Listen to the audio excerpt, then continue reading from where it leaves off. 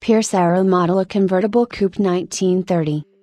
Buffalo's Pierce Arrow Automobile Company was founded in its original form way back in 1865 as Heintz, Pierce and Munschauer, who manufactured various household items, including their best known product, gilded bird cages.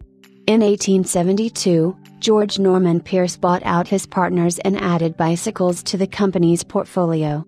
By 1900 they were experimenting with building steam cars under license and by 1904 they settled on building large, upscale models.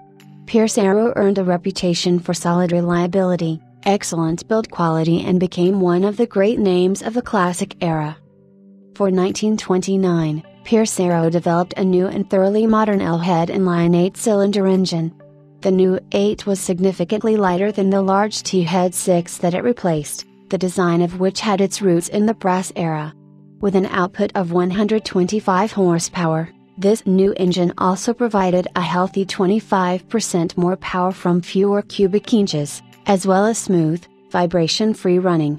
The reward for Pierce was that 1929 was the best ever year for the company, with nearly 10,000 cars sold. Despite the dire economic conditions that loomed, optimism and momentum paved the way into 1930.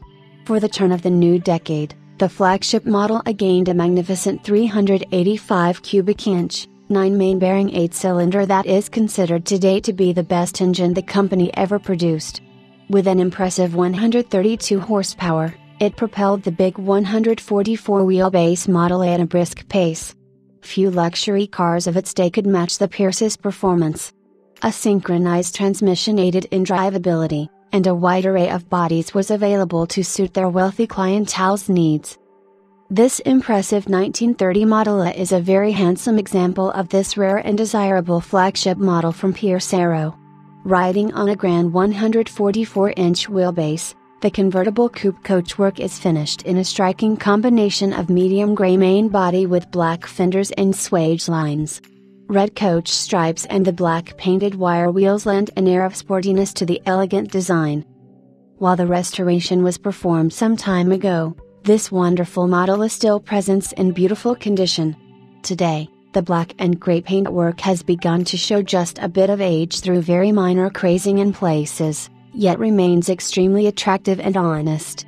The body is straight, with very good shut lines and panel alignment, a testament to the quality of the restoration.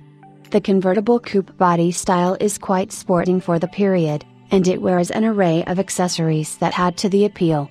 Up front, a radiator stone guard is fitted, as well as a single pilot ray spot lamp and a pair of unusual spot lamps mounted on a light bar. Of course, the signature Faraday headlights make this unmistakable as a Pierce Arrow. The proud kneeling archer mascot rides atop the radiator and he comes complete with a fragile, and oft missing, bow and arrow. Dual side mount spare tires are clamped in place with unusual and stylish chrome brackets that feature integrated mirrors. In the rear, a single tri-lens tail light, chrome trunk rack and gorgeous chrome bumper accentuate the style.